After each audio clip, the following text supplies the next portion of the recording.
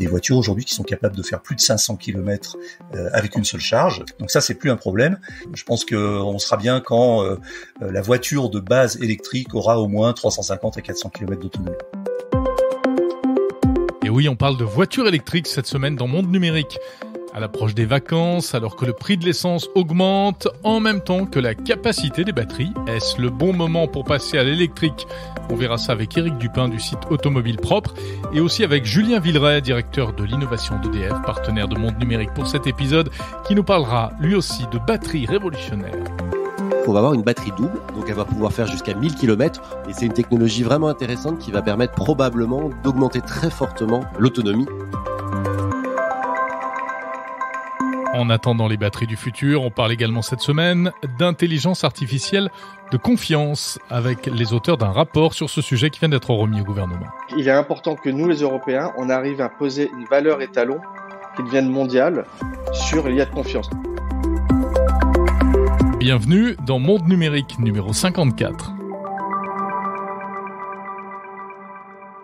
Et on commence par l'actu de la semaine avec un chiffre tout d'abord, 35,6 terabits par seconde. Ça fait peur, hein même si on n'a aucune idée de ce que ça représente en réalité. C'est la quantité de données qui a circulé sur Internet en France en 2021, selon le rapport annuel de l'ARCEP, le gendarme des télécoms.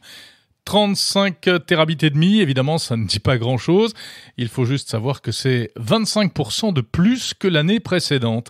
Un trafic en augmentation constante, en fait, toutes ces dernières années. Alors, ça s'explique en raison euh, de l'explosion des usages, notamment depuis le confinement, et puis aussi à cause du déploiement ou grâce au déploiement des technologies fixes et mobiles, la fibre, la 5G, etc. À noter que 40% de ce trafic en France correspond à l'utilisation des services des géants américains du numérique. Google, Meta, Amazon, Netflix. Netflix qui pèserait à lui seul près de 20% de la bande passante au niveau national. Alors voilà d'ailleurs de quoi faire ressurgir une vieille revendication des opérateurs télécoms, celle d'une contribution des plateformes américaines les opérateurs aimeraient bien leur faire payer euh, ce qui correspond en fait aux investissements engloutis chaque année dans le déploiement des réseaux, euh, près de 15 milliards d'euros en 2021. Sauf que ce n'est pas simple car euh, d'une part, faire payer les plus gros acteurs, eh bien en fait ça se heurterait au principe de la neutralité d'Internet qui veut que le réseau soit une ressource libre et partagée par tous sans distinction et puis d'autre part, les Netflix, Amazon et autres Facebook aiment bien rappeler qu'ils fournissent des services très attractifs et que c'est peut-être à cause de ça que les internautes ont envie de s'abonner et donc euh, que cela rapporte de l'argent finalement aux opérateurs. Sans compter que les big tech investissent aussi de leur côté, comme par exemple Netflix qui a développé sa technologie Open Connect, euh, basée sur des serveurs euh, situés au plus près des abonnés pour éviter de faire euh, transiter des millions de gigaoctets de données sur de longues distances et donc d'éviter une utilisation exagérée des réseaux. D'ailleurs, à ce sujet, je vous renvoie à l'interview que j'avais réalisée en avril dernier du responsable du streaming chez Netflix, Thomas Volmer, qui expliquait tout cela en détail. C'était Monde numérique numéro 45 avec l'interview intégrale en bonus.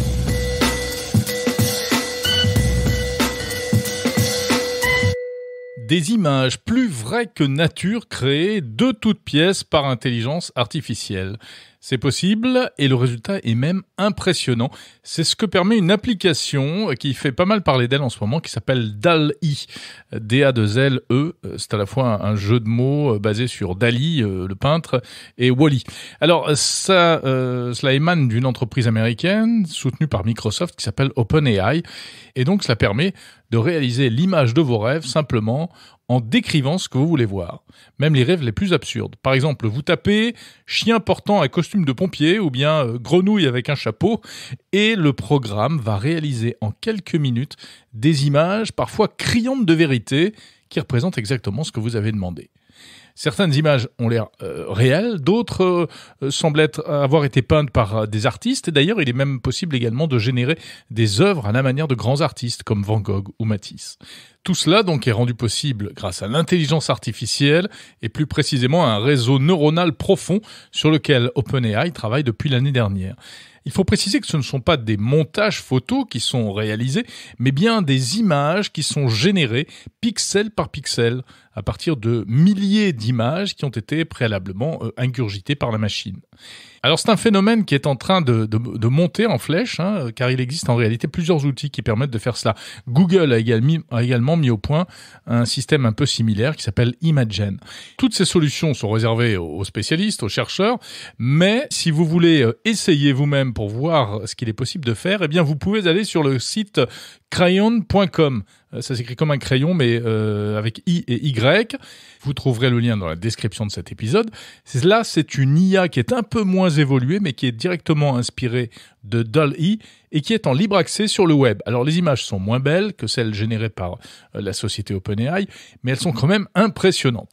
Je me suis amusé à demander des choses un peu idiotes, comme un chat qui joue de l'harmonica ou bien Vladimir Poutine qui embrasse Emmanuel Macron, et euh, je vous conseille de faire le test, c'est assez surprenant. Donc Crayon, qui a été créé par un, ingénieur français installé aux États-Unis, euh, qui explique qu'il a voulu rendre hommage et s'inspirer euh, du système original DALL-E. Alors tout cela évidemment pose malgré tout un certain nombre de questions, car s'il est possible de fabriquer euh, comme ça à la volée des images totalement fausses, simplement euh, en, expliquant avec des mots ce que l'on souhaite, eh bien euh, on imagine ce que ça pourrait faire en matière de désinformation. Ça fait penser inévitablement au deepfake, hein, ces fausses vidéos qui permettent de coller le visage d'une personne sur une autre et on touche du doigt toute la question de l'éthique de l'intelligence artificielle, dont on parlera d'ailleurs tout à l'heure avec nos invités, à propos du rapport sur l'IA de confiance qui vient d'être rendu au gouvernement. On continue l'actu de la semaine avec une bonne nouvelle qui arrive d'une vieille administration, en tout cas une vieille entreprise. Si comme moi, vous êtes passé à une vie 100% numérique et que vous ne supportez plus certains détails contraignant préhistorique de l'ancien monde, vous serez sans doute heureux d'apprendre que le timbre-poste, cet héritage du passé pour le moins anachronique, va prendre un sacré coup de vieux. En effet, la Poste s'apprête à lancer un timbre numérique. Alors la Poste dit timbre digital, mais moi je préfère dire numérique parce que c'est plus français.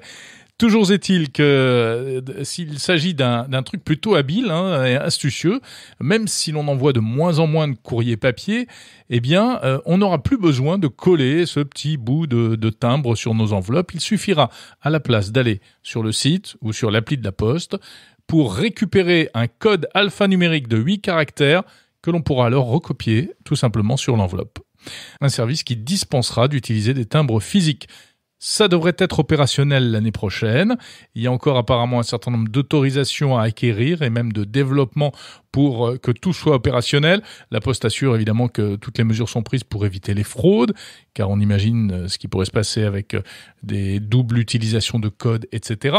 À noter que ça ne change rien au fait qu'il faudra acheter les timbres, mais au moins ce seront des timbres virtuels. Alors c'est une première, même si c'est en train d'arriver aussi visiblement en Suisse. En tout cas, ce n'est pas une bonne nouvelle pour les collectionneurs de timbres, si tant est que cela existe encore, euh, même si pour l'instant, pas de panique, il n'est pas question de remplacer totalement les bons vieux timbres papier par le timbre numérique. Allez, on termine par une actu incontournable cette semaine. C'est un anniversaire célébré comme il se doit sur tous les sites d'actu high-tech. Ce sont les 15 ans de l'iPhone le smartphone d'Apple, le smartphone qui a tout changé, qui a balayé les claviers physiques et les stylets au profit du tout tactile, l'iPhone qui a balayé les menus qu'essayait de nous imposer à l'époque Microsoft, et cela au profit des widgets, et qui a balayé aussi au passage les ténors de la téléphonie mobile du début des années 2000, tels que BlackBerry ou Nokia. Alors l'iPhone avait été annoncé le 9 janvier 2007 au cours d'une keynote, une keynote devenue aujourd'hui euh, historique, collector, avec Steve Jobs présentant une triple révolution, un iPod avec écran, un téléphone mobile et un appareil pour aller sur Internet, trois en un, en martelant et en répétant son message pour accentuer la tension dramatique. 9 janvier 2007. Un iPod, a phone and an internet communicator. An iPod, a phone. Are you getting it? This is one device, and we are calling it iPhone. Today, today Apple is going to reinvent Voilà, un Steve Jobs plus lyrique que jamais. Aujourd'hui, Apple va réinventer le téléphone avec une démo qui suivra, qui sera elle aussi un morceau d'anthologie, hein, puisque en fait l'appareil présenté sur scène n'était qu'un prototype et qui marchait très mal. Il fallait effectuer des actions dans un ordre bien précis pour éviter que ça plante devant tout le monde. C'est ce que les ingénieurs d'Apple avaient appelé le Golden Path. Donc ça, c'était en janvier 2007. Et l'iPhone est sorti dans le commerce six mois plus tard, le 29 juin 2007, il y a tout juste 15 ans cette semaine. En France, il est arrivé un peu plus tard, en janvier 2008. Évidemment, rien à voir à l'époque avec ce que l'on connaît aujourd'hui. Il était tout petit le premier iPhone, un écran tactile de 3,5 pouces et il ne fonctionnait qu'avec les réseaux 2G, ce qui était d'ailleurs un vrai problème et qui expliquera probablement qu'il connaîtra un succès très limité en Europe. En fait, il faudra attendre euh, quelques mois de plus, juillet 2008, pour voir arriver le vrai premier iPhone qui va se généraliser, l'iPhone 3G. Voilà donc pour les 15 ans de l'iPhone. Et on en parle à noter euh, cette semaine également dans le podcast chez Jérôme et François avec mon camarade François Sorel, épisode mis en ligne ce week-end.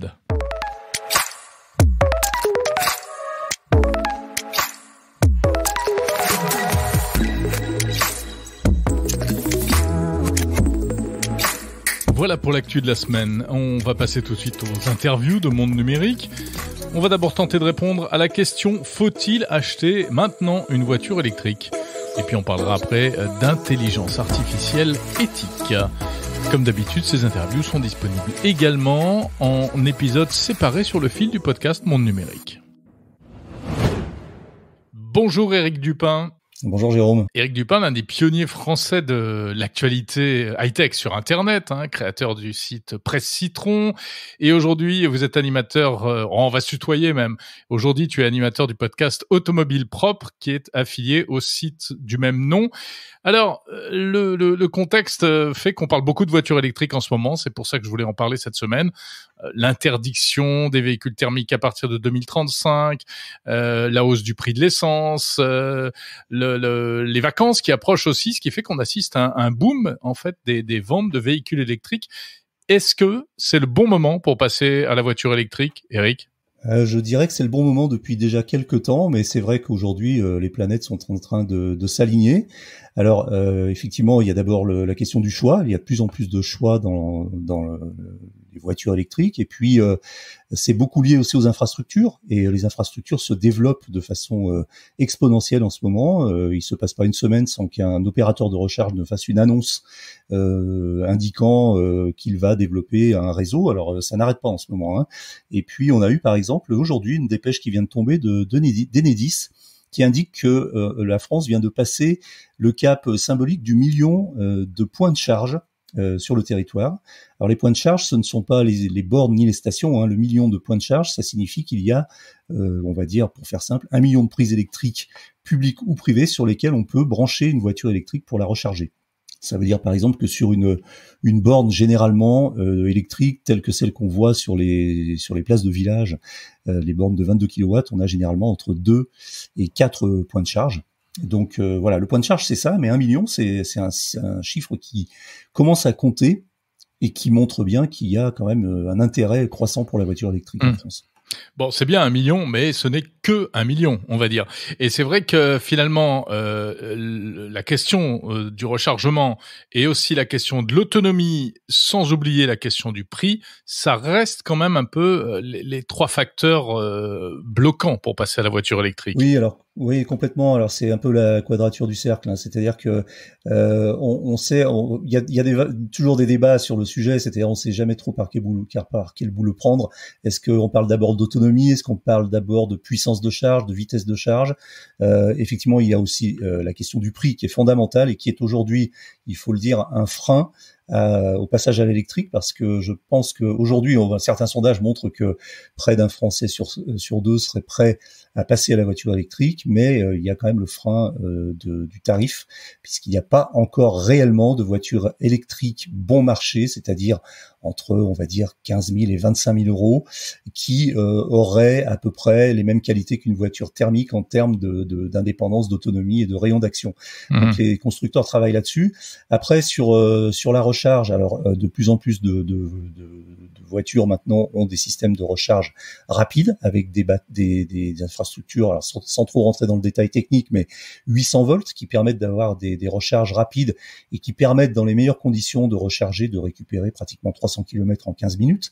Donc le, le, la question de la vitesse de charge est importante, mais euh, elle doit être euh, prise euh, dans le bon sens. C'est-à-dire que lorsqu'on fait un voyage, lorsqu'on se déplace pour un voyage un petit peu au long, au long cours, euh, s'arrêter un quart d'heure ou 20 minutes pour recharger, euh, c'est pas vraiment euh, un sujet puisque on a évidemment tendance à comparer ça avec un plein d'essence qu'on va faire en deux minutes, mais s'arrêter pour récupérer 300 km euh, en 20 minutes, c'est pas grave en fait parce qu'on on prend le temps, on voyage un petit peu différemment si c'est dans le cadre d'un voyage d'agrément notamment, euh, même pour rejoindre une destination de vacances. Puis 20 minutes, bah, c'est à peine le temps de sortir de sa voiture, d'aller prendre un café, euh, de passer aux toilettes et ça y est, on revient, la voiture est déjà chargée. Ça va presque trop vite parce que on, s'habitue finalement à un autre mode de vie qui est un autre style de vie en, voiture électrique.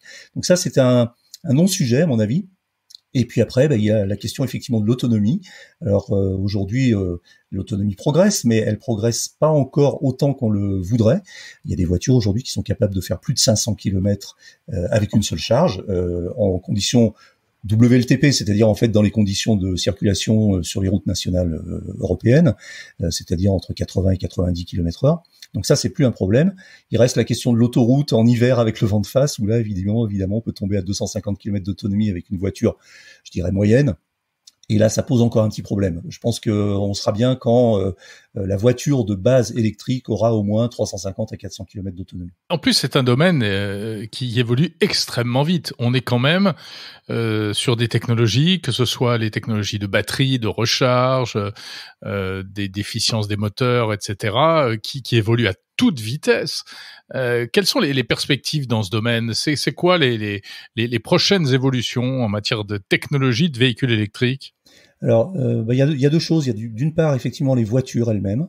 Alors, euh, bah, les évolutions, en fait, elles vont venir des batteries, mais j'en parlerai peut-être un tout petit peu après. Euh, les voitures elles-mêmes, aujourd'hui, en fait, l'ennemi de la voiture électrique, l'ennemi de la voiture d'une façon générale, et l'ennemi de tout objet en mouvement, c'est le poids. Et, et le poids, aujourd'hui, il est caractérisé notamment par, le, par les batteries, qui constituent un surpoids important dans une voiture. Donc, il faut travailler là-dessus. Et du coup, les constructeurs vont récupérer un petit peu le handicap du poids par l'aérodynamique. Donc on, s'attend à voir de plus en plus de voitures profilées et, pas seulement ce qu'on a tendance un peu à voir un peu trop aujourd'hui, c'est-à-dire des SUV. Euh, alors pourquoi les constructeurs font, font essentiellement des SUV en électrique? Il y a plusieurs raisons. Alors la première raison, c'est que probablement il y a une demande du marché, mais il y a aussi des raisons techniques, c'est-à-dire qu'il est plus facile de loger des batteries importantes, encombrantes et lourdes dans un SUV euh, en termes de ratio euh, que dans une petite voiture compacte. Donc, euh, si on veut de l'autonomie, on met plus de batterie. Si on met plus de batterie, on fait des voitures plus grosses. Donc, l'évolution, je pense qu'elle va venir de ce point de vue-là, c'est-à-dire des voitures plus profilées. Et on a eu un exemple avec la présentation, et donc mardi soir, de la Ioniq, euh, la Hyundai Ioniq 6, qui mhm. est une berline euh, qui va se placer, on va dire, sur le créneau de la Tesla Model 3 à peu près, en un peu plus longue, et qui est une voiture aux, aux formes très effilées. C'est une berline 5 places euh, avec des, mm, un design très original euh, qui plaira ou qui ne plaira pas, et en tout cas qui a l'avantage de, de, de, trancher un petit peu dans tout ce qu'on voit aujourd'hui. Et c'est euh, au dire des, des observateurs euh, euh, qui ont qui lui ont réservé un très bon accueil, bah une voie une voie à suivre. Mercedes aussi avec le QXX a présenté une voiture qui est pour l'instant un prototype, mais qui euh, est capable de faire plus de 1000 km avec une seule, une seule charge, avec une efficience euh, incroyable, puisqu'on est à, aux alentours de 10, entre 10 et 12 kWh euh, au 100 km. Euh, sachant qu'aujourd'hui la consommation moyenne d'une voiture électrique efficiente comme une je sais pas une Hyundai Kona ou une Tesla Model 3 on est plutôt entre 13 et 18 kWh au 100 km. Donc voilà, les évolutions, je les vois ici. Après en termes de batterie, alors c'est vrai que tous les tous les tous les mois, on a une annonce nous disant que que telle marque va intégrer des batteries qui se rechargent en 3 minutes et qui ont 1000 km d'autonomie. Il y a beaucoup de bullshit dans tout ça, mais ça évolue quand même très fort. Et là, on a une société chinoise qui s'appelle Cattle, qui vient de présenter une nouvelle génération de batteries qui offrirait une, autonomie euh, supérieure à 1000 km. Alors, on ne sait pas euh, dans quelles conditions et qui pourrait être euh, rechargée entre guillemets en un clin d'œil. Donc, les innovations, elles sont, elles sont là aussi. Et puis après, il y a des innovations dans les réseaux de recharge. On a par exemple une, une start-up française qui est très très forte dans le domaine, qui s'appelle Electra et, et qui, qui d'ailleurs euh, devrait faire une annonce assez importante dans les prochains jours euh, sur le sujet et qui euh, travaille beaucoup sur l'interface utilisateur et qui a une notamment une application qui qui fonctionne très bien pour pour gérer la recharge sur les stations Electra. Voilà donc les trois volets un peu de l'innovation à mon avis. Alors, en attendant toutes ces merveilles, euh, si on souhaite aujourd'hui passer à l'électrique, euh, finalement, quels sont les, les, les, critères à prendre en compte selon toi? Comment comment choisir un véhicule électrique? Euh, bah déjà, bon, alors il y a le, critère subjectif, c'est-à-dire il vaut mieux acheter une voiture dont on, dont on apprécie la ligne. Après, il y a les, critères plus pratiques, c'est-à-dire l'encombrement, euh, le nombre de places, euh, la place pour, pour le chargement, c'est-à-dire le volume du coffre ou des coffres. Ça c'est intéressant puisque les voitures électriques bien conçues proposent généralement un coffre avant et un coffre arrière puisque les bah moteurs sont situés souvent euh, dans les trains roulants et sont des moteurs assez peu encombrants. D'ailleurs, ça fait partie aussi des innovations puisque des constructeurs travaillent beaucoup sur l'encombrement des moteurs de façon à gagner de l'espace dans la voiture. Euh, après, qu'est-ce qu'il faut prendre en compte? Ça va dépendre de ses usages. Alors, euh, je sais pas si on si on a un, un usage je dirais, euh, urbain, périurbain, pour se rendre euh, à son travail, pour euh, aller voir des clients, pour aller faire ses courses le, week-end. Une petite voiture de, de 200, 250 km d'autonomie est largement suffisante. Après, si on veut une voiture au long cours, il va falloir envisager de dépenser un petit peu plus et d'aller chercher une voiture qui a une autonomie supérieure. Et là, on va aller plutôt sur des sur des berlines euh, qui vont euh, qui vont euh, atteindre 450 500 km d'autonomie en conditions d'usage routier mixte et puis voilà alors après il y a aussi effectivement un critère dont on parlait pas trop jusqu'à maintenant, mais effectivement qui est quand même important au-delà de l'autonomie, j'en ai parlé tout à l'heure, c'est la vitesse de recharge. je disais aujourd'hui qu'on peut charger une voiture bien conçue peut, récupérer 2 à 300 km en, en 15 à 20 minutes. Euh, je pense que ça devrait être un standard et que c'est quelque chose qui doit être regardé. Comme je le disais tout à l'heure, 15 à 20 minutes, c'est pas un drame. Euh, au-delà, ça devient un petit peu compliqué. Euh, et puis, il faut évidemment vérifier que la voiture est compatible avec les stations et les réseaux de recharge, que j'appellerais réseaux de recharge haut débit, comme par exemple les réseaux Ionity, Tesla ou Electra, pour n'en citer que, que mmh. Il faut que le véhicule également soit, soit compatible avec ses chargeurs rapides. complètement. Compatible avec ses chargeurs rapides et quelles que soient les conditions, je dirais. Euh, ce qui est un, sujet aussi euh, intéressant à regarder, c'est si la voiture euh, a un système de préchauffage automatique de sa batterie, de façon, enfin, en plus exactement de préconditionnement automatique de la batterie en fonction euh, de l'arrivée sur une borne de recharge. Ça veut dire que quand je rentre euh, une recharge, une borne de recharge dans le planificateur GPS de la voiture, la voiture doit être capable de se préconditionner pour euh, obtenir une charge optimale une fois qu'elle sera branchée à la borne. Donc ça, ça partie, enfin c'est euh, un, un, certain nombre de critères comme la température de la batterie, le niveau de charge de la batterie. On sait qu'il vaut mieux arriver à 20% de charge ou un petit peu moins et charger jusqu'à 80% pour avoir la courbe de charge optimale. Et si la voiture a ce système de préconditionnement, elles l'ont elles ne l'ont pas toutes malheureusement encore. Alors il peut être celles qui l'ont, euh, il peut être soit manuel, on l'active manuellement, soit automatique euh, en fonction de la distance par rapport à la borne. Mais ça optimise euh, largement la recharge, notamment en hiver, parce que ça préchauffe la batterie. Une dernière question, Eric, histoire de boucler un peu le sujet voiture électrique. Et si on prend un peu de, de hauteur, alors la voiture électrique, l'Europe a l'intention de vraiment contribuer à sa généralisation hein, euh, dans les années qui viennent, les décennies qui viennent. Mais à chaque fois, il y a une interrogation qui revient. Est-ce que finalement la voiture électrique euh, est-elle réellement moins polluante que la voiture thermique? Parce que le but du jeu, c'est quand même de limiter les émissions de CO2. Bien sûr. Euh, Oui, alors la réponse est oui, euh, clairement et résolument, largement moins polluante que la voiture euh, thermique, il n'y a aucun débat là-dessus. Euh, les, les, seules personnes qui prétendent l'inverse sont généralement soit mal informées, soit de mauvaise foi, soit anti-VE par principe, on ne sait pas exactement pourquoi. Il y a, y, a, pas mal d'idéologie là-dedans, hein, mais mm. en fait, bon, la voiture électrique, si, si vous voulez, en gros, il y, a, il y, a, plusieurs études qui sont sorties au cours des deux dernières années, des études assez sérieuses, qui montre en moyenne, alors selon les études, que euh, une voiture électrique sur l'ensemble de son cycle de vie, hein, c'est-à-dire de la fabrication à, la casse, on va dire. Oui, parce que c'est ça qui est important. C'est pas c'est pas seulement ce qui sort du pot d'échappement. Voilà, c'est pas simplement l'usage. Une voiture électrique euh, émet, euh, alors selon les études, c'est entre 68 et 75% de CO2 en moins. C'est énorme c'est énorme. Et, et, même, alors ça c'est une moyenne, et, et, si on prend les pays qui ont euh, euh, une fourniture d'électricité euh, fortement carbonée, comme par exemple, alors dans une des études, c'est la Pologne qui est prise en exemple puisque son mmh. électricité vient essentiellement du charbon, on est encore à 30% de pollution en moins au CO2 par une voiture électrique par rapport à une voiture thermique, même dans les pays euh, à l'énergie la plus fortement carbonée. Donc là-dessus, il n'y a aucune question. Alors ça ne veut pas dire que la voiture électrique est totalement vertueuse. Il y a aussi des questions effectivement sur la sur l'extraction euh, euh, des, euh, des matériaux pour pour fabriquer les batteries, qui peuvent aussi poser question en termes environnementaux et en termes humains, sociétaux. il faut il faut pas se le cacher. Mais le bilan, comme comme disait l'autre, est, est globalement positif. Merci beaucoup, Eric Dupin, euh, animateur du, podcast euh, Automobile Propre, qu'on peut retrouver évidemment sur toutes les bonnes plateformes de podcast. Bonjour Julien Villeray. Bonjour Jérôme. Je suis ravi de vous retrouver dans le cadre du partenariat entre EDF et Monde Numérique. Julien Villeray, directeur de l'innovation d'EDF. On parle donc cette semaine de véhicules électriques. Inévitablement, vous, EDF énergéticien, c'est un sujet que vous suivez de près.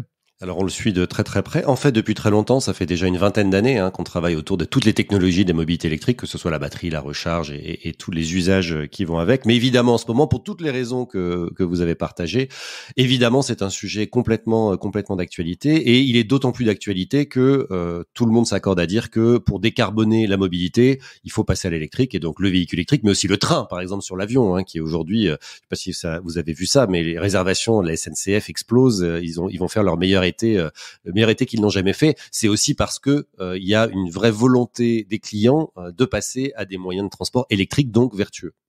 Alors en matière d'innovation, Julien Villeray, il y a des choses très intéressantes qui se préparent, et notamment dans le domaine des batteries. Et c'est un secteur auquel vous êtes associé.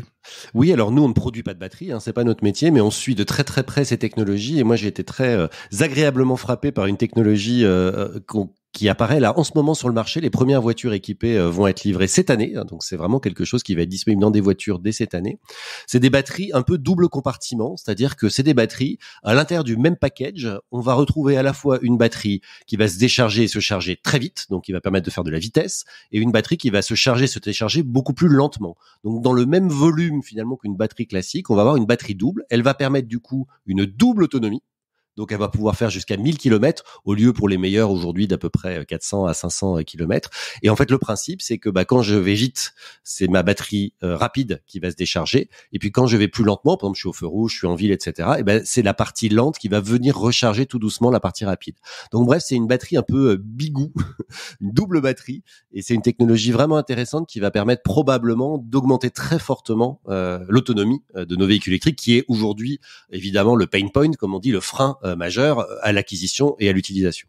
Mais euh, ce serait pour quand ces, ces nouvelles batteries? Alors dès cette année, des modèles de voitures vont sortir avec ce type de batterie et elles vont probablement se développer. Alors euh, comme pour toutes les technologies, il y aura évidemment des progrès à faire. Leur principal défaut aujourd'hui, c'est qu'elles ne permettent pas euh, de faire 1000 km comme je l'ai dit à fond sur l'autoroute, puisque par définition, comme il y en a une partie rapide, une partie lente, c'est des batteries qui sont plus faites pour des mix, c'est-à-dire bah je fais une heure sur l'autoroute, après je fais des, des, des, routes départementales où je vais moins vite, après je fais un peu de ville, etc.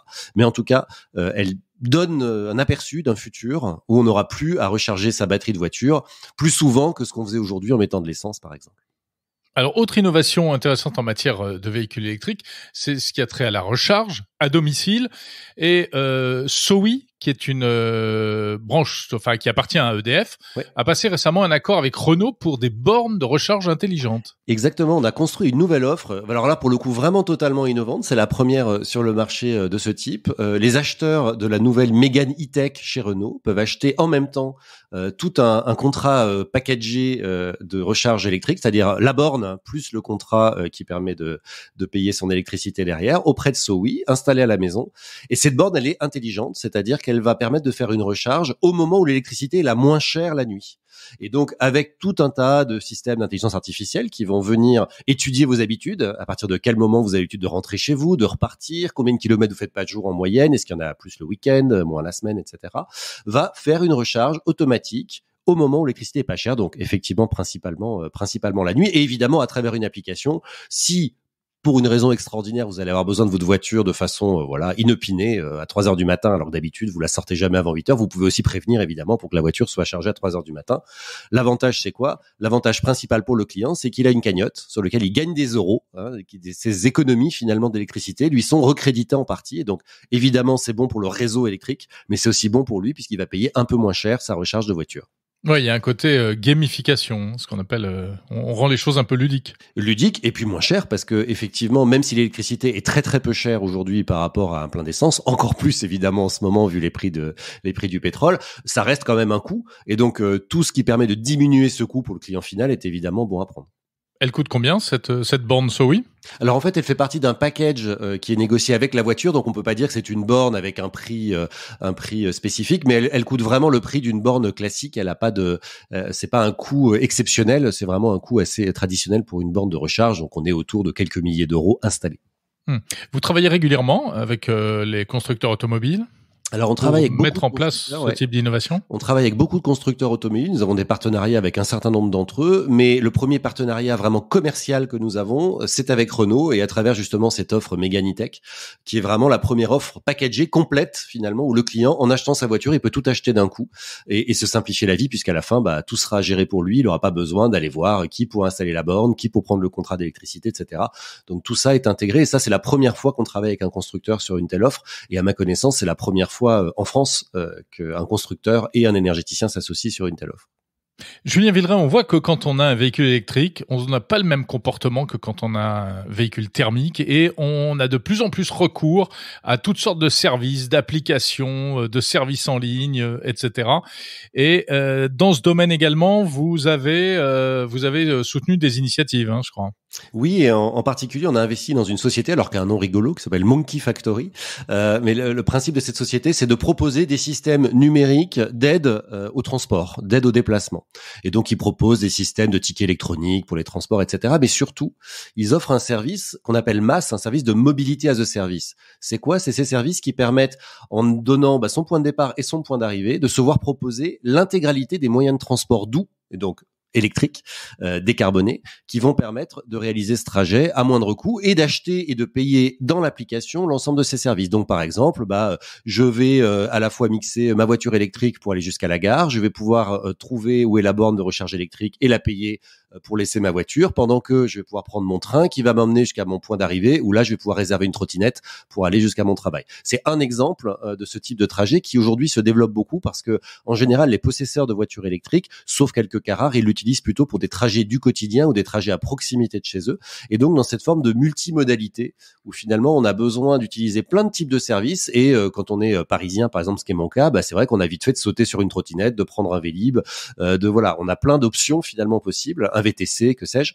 Et donc ce type d'application permet de finalement se simplifier la vie en mettant le point de départ, le point d'arrivée et l'application gère l'intégralité du trajet, y compris les billets, y compris le prix, le paiement, voilà. Et ce qui est intéressant, c'est qu'il y a une loi française qui s'appelle la loi LOM, hein, qui a été euh, qui a été promulguée en 2019. Et cette loi d'orientation des mobilités, elle incite les collectivités à proposer ce type de service. Et donc Monkey Factory propose en marque blanche, comme on dit, ce type de service à plein de collectivités. Par exemple, si vous utilisez euh, l'application de Mulhouse, hein, à Mulhouse, qui référence tous ces moyens de transport, et eh ben en fait derrière c'est l'application de Monkey Factory. Merci Julien Villeray, directeur de l'innovation d'EDF.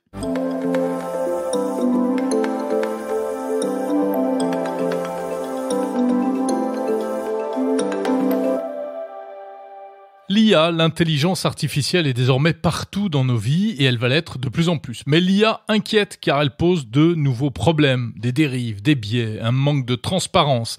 Face à cela, l'Europe et la France veulent mettre en place les règles d'une IA de confiance, une IA utile qui ne fasse pas n'importe quoi. Un rapport vient d'être remis au pouvoir public, il fait 18 propositions en ce sens. Les deux auteurs sont dans Monde Numérique. Julien Caroni, directeur Grand Défi en intelligence artificielle au secrétariat général pour l'investissement, c'est une administration qui dépend des services du Premier ministre, et Arnaud Ponce, délégué général du think tank Digital New Deal. Bonjour messieurs. Bonjour. Bonjour. Alors est-ce qu'on peut d'abord clarifier un peu cette notion d'IA de confiance? De quoi s'agit-il exactement? Julien Caroni bah écoutez, en fait, finalement, euh, beaucoup de personnes connaissent l'intelligence artificielle et finalement, en fait, l'intelligence artificielle de confiance, c'est euh, à partir du moment où vous allez avoir l'utilisation de ces technologies dans un mode responsable, éthique, sûr et euh, de manière sécurisée. Donc, ça veut dire que quelque part, on, on leur octroie un certain nombre de, de, de, propriétés ou de caractéristiques qui permet de, de, de donner une confiance aux citoyens, aux utilisateurs en ces technologies lorsqu'elles sont déployées sur des cas d'usage concrets. Alors, quelles sont les grandes lignes de, de ce rapport euh, dont vous êtes les auteurs, Arnaud Ponce? Euh, Les grandes lignes de ce rapport, en fait, c'est de, de, proposer euh, une stratégie pour euh, ce qu'on, définir ce qu'on appelle euh, une IA des lumières, parce que ce que vient de définir Julien, c'est donc l'IA de confiance. L'IA des lumières, vous savez, c'est cette vision que, et c'est l'ensemble pour, pareil pour tous les numériques de lumière, alternatif euh, à la vision des, des GAFAM. Parce que là, ce qu'on parlait d'IA concrètement, on parle de quoi? On parle de, d'intelligence artificielle que l'on croise dans nos vies quotidiennes tous les jours par, avec les grandes plateformes. C'est souvent celle-ci euh, que l'on, dont on parle. C'est-à-dire que, par exemple, lorsque l'intelligence artificielle de Facebook décide de pousser des fake news euh, et de les laisser s'amplifier, voilà une conséquence concrète euh, de ce que l'intelligence artificielle peut avoir comme impact dans nos sociétés. Et donc, face à ces enjeux-là, il est très important que l'Europe puisse avoir sa propre vision et définir une IA qui réponde à ses valeurs, ses intérêts. Euh, et, euh, et l'IA de confiance, c'est précisément ça, c'est offrir une alternative aux, aux intelligences artificielles que l'on connaît, qui appartiennent à des grandes entreprises privées et qui répondent à leur propre logique et leurs propres intérêts. Très concrètement, euh, ça passerait par quoi? Ça veut dire quoi? Ce sont des, des règles contraignantes qui vont être imposées par les pouvoirs publics? Ça va être euh, ce qu'on appelle des, des guidelines, euh, mmh. des grandes directives à suivre? comment ça se passe? Alors, ben, aujourd'hui, justement, euh, euh, la, la, Commission européenne est en train de travailler justement à une, une réglementation sur l'intelligence artificielle qui propose un certain nombre de principes haut niveau pour un ensemble d'applications qu'elle juge comme étant à haut risque euh, comme par exemple les octrois de crédit ou l'utilisation de l'IA dans certains secteurs comme la santé, euh, qui vont imposer en fait finalement euh, d'être en conformité avec ces exigences. Et, euh, et, en fait, finalement, derrière, euh, la, la, la question qui se pose, c'est euh, comment est-ce que finalement les industriels, les développeurs vont pouvoir implémenter ces, ces, exigences dans leur système et dans leurs produits et leurs services, et donc quelles solutions vous allez développer pour y arriver. C'est un peu tout l'enjeu qu'on développe aussi dans le rapport en précisant qu'est-ce qui pour nous sont les grandes priorités en termes de développement. Quelles sont les urgences? Les urgences, bah d'abord, c'est de, réussir à se mettre d'accord sur une régulation qui encadre bien ces enjeux-là, euh, parce que euh, de plus en plus de systèmes deviennent critiques. En fait, c'est peut-être ça l'enjeu, et, du coup le, caractère urgent, c'est que euh, il y a beaucoup d'intelligence artificielle qui sont pas jugées aujourd'hui comme critiques et qui donc ne font pas euh, l'objet d'une régulation forte. Or, demain, on va se rendre compte que de plus en plus, tous les sujets seront critiques qu'on appelle societal, societal critical c'est que euh, je vous ai pris l'exemple de Facebook tout à l'heure, on peut prendre l'exemple de la santé, on peut prendre tous ces exemples-là, on voit bien que l'impact sur nos vies est énorme. Donc il est important que nous les Européens, on arrive à poser une valeur étalon qui devienne mondiale sur l'IA de confiance. On l'a fait sur les données personnelles, vous savez, avec le RGPD. On a réussi à imposer au reste du monde le fait qu'on respecte les données personnelles. C'est par une régulation qu'on a réussi à faire bouger les lignes et à protéger euh, les, euh, les, internautes. Eh bien, ce qu'on a fait sur les données personnelles, il faut le faire sur l'ensemble des données et l'ensemble des, algorithmes qui régissent nos vies. Et c'est pour ça qu'il y a de confiance est très structurant. C'est est-ce qu'on va arriver là aussi sur cet enjeu d'avenir? À imposer nos valeurs à travers une régulation. Donc ça passera aussi par des, des interdictions. Alors ben, justement, dans le cadre de la réglementation européenne, euh, la, la Commission prévoit d'interdire un certain nombre d'applications qu'elle juge comme étant inacceptables d'un point de vue sociétal. Donc, euh, donc oui, ça peut passer par un certain nombre d'interdictions, euh, comme, euh, comme euh, finalement des applications qui pourraient être utilisées dans d'autres pays et que l'Europe jugerait d'un point de vue de valeur inacceptable, inacceptable au niveau de, de ses citoyens. La reconnaissance faciale, des choses comme ça? Pas la, reconnaissance, pas la reconnaissance faciale, mais plutôt, on va dire, les notations, tout ce qui est principe de notation qui sont beaucoup utilisés, notamment en Chine. Et bon, donc finalement, vous voyez bien en fait une approche, une approche différente, un peu l'approche de la troisième voie que mentionnait Arnaud tout à l'heure, c'est-à-dire on a un certain nombre de valeurs. Finalement, elles se retrouvent dans les applications qu'on va accepter ou non, et, euh, et la manière aussi de déployer ces applications en garantissant finalement un, niveau de confiance qui soit suffisante pour pour euh, tout un chacun, pour les citoyens qui les utilisent et, et les industriels qui les déploient. Arnaud? Oui, c'est éviter qu'il y ait davantage de scandales à l'avenir, comme il y a déjà eu dans le passé. On voit bien que ça s'accentue. On pense au Cambridge Analytica, vous savez, euh, Facebook, le fait que des élections, et pas n'importe lesquelles, les élections américaines, aient pu être influencées à travers un algorithme. Euh, Julien vient de citer l'excellent exemple, évidemment, de la Chine avec le crédit chinois, où carrément, euh, ça permet de fliquer toute une population euh, pour, pour le, le, pouvoir en place. Eh bien, entre ces visions autoritaires et libertariennes, il faut absolument qu'on arrive à imposer notre propre vision, la troisième voie numérique, qui est, donc la, clé de voûte pour nous de, cette IA de confiance. Hmm. Mais l'intelligence artificielle, c'est encore en grande partie euh, du ressort de la recherche. Euh, il y a des choses qui sont inventées, on ne sait pas forcément quelles seront les applications. Il pourrait y avoir euh, des applications dangereuses et d'autres très utiles. Comment réguler sans brider l'innovation? Je pense que c'est une question qui est fondamentale. En fait, finalement, vous voyez bien que, et Arnaud a cité certains exemples, il y a énormément déjà d'utilisation de l'IA dans les secteurs, dans les secteurs de l'électronique, plein d'autres secteurs finalement, et, euh, et euh, les, les, grands acteurs américains du numérique utilisent beaucoup l'intelligence artificielle pour développer leur applicatif. Et après, on voit bien qu'il y a toute une opportunité finalement de compétitivité pour tout un ensemble de secteurs mais pour lequel la confiance est un prérequis à l'introduction de ces technologies dans leurs produits et leurs services. Je pense par exemple à, la santé ou à des aspects de contrôle industriel sur lequel vous voulez pas que finalement euh, le système qui contrôle ne détecte pas la défaillance de la pièce, par exemple. Et, et, et, et le vrai enjeu après, c'est euh, c'est d'avoir une approche par le risque, c'est-à-dire finalement avoir toujours une approche de bénéfice-coût et donc avoir une approche qui soit modérée en fonction des applications précises qu'on va développer et qu'on va vouloir adresser.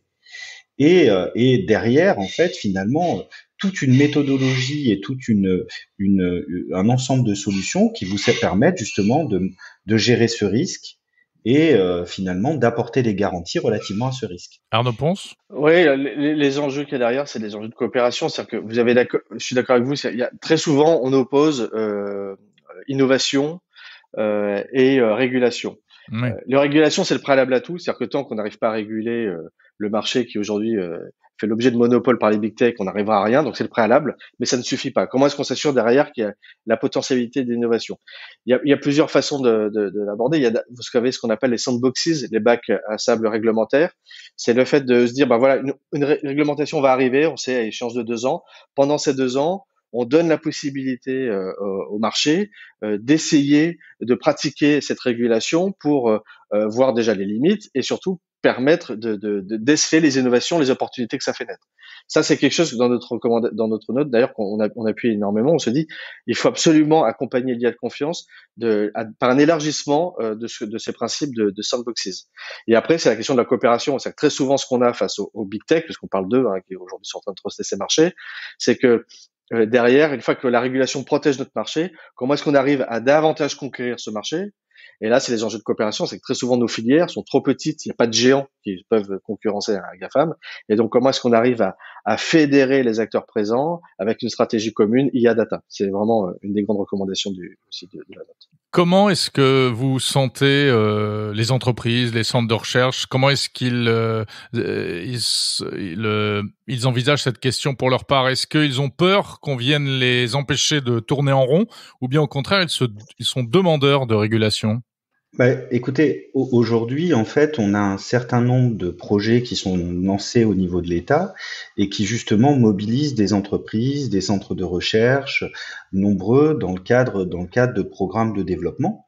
Et, au contraire, c'est-à-dire que finalement, l'écosystème se mobilise pour pouvoir développer des solutions qui nous permettent d'appliquer correctement cette future réglementation et donc d'apporter les garanties aux citoyens qui vont être recherchés. Donc ils sont plutôt dans une étape où, euh, où euh, on est dans une phase où on se mobilise collectivement, c'est ce que Arnaud mentionnait, c'est-à-dire que c'est l'importance du collectif par rapport à pour atteindre une taille critique dans une compétition internationale qui est quand même féroce. Hein, et, euh, et, justement s'emploie à développer ces approches, ces solutions, ces technologies pour pouvoir implémenter de la confiance dans les systèmes, dans les systèmes d'IA. Oui, et puis le, secteur industriel européen est quand très fort, donc ça c'est un, point euh, sur lequel on peut euh, s'appuyer.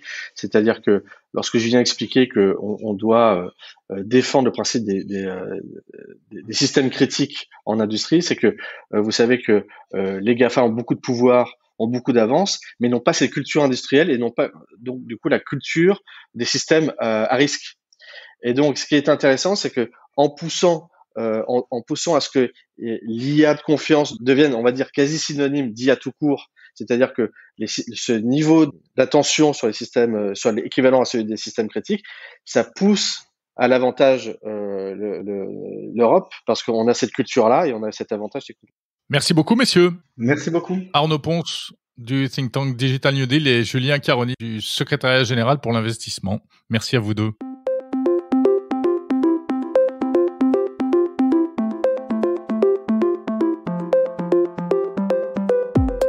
C'est la fin de ce nouvel épisode de Monde Numérique numéro 54.